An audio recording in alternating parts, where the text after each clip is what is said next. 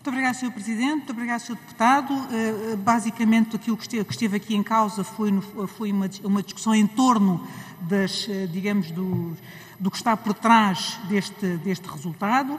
Um, eu queria apenas uh, dizer que é lastimável porque efetivamente nós tivemos, tínhamos tido aqui um nível de participação nunca antes tido, nunca antes havido, eh, muito significativa num contexto de grande dificuldade e que, num certo sentido, quebramos a confiança dos nossos concidadãos ao conseguir que a, a, a votação tivesse de ser repetida.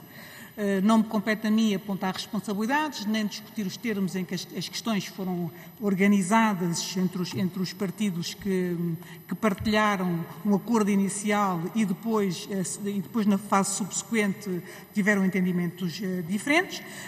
Compete-me apenas dizer que é óbvio que o Governo lastima profundamente o que aconteceu, que já disse em comunicado público e que me valeu uh, uns insultos, uh, mas o Governo lastima efetivamente aquilo que aconteceu uh, e o Governo considera que efetivamente esta situação poderia ter sido evitada se tivesse havido algum equilíbrio e sentido de responsabilidade e de patriotismo. Muito obrigado.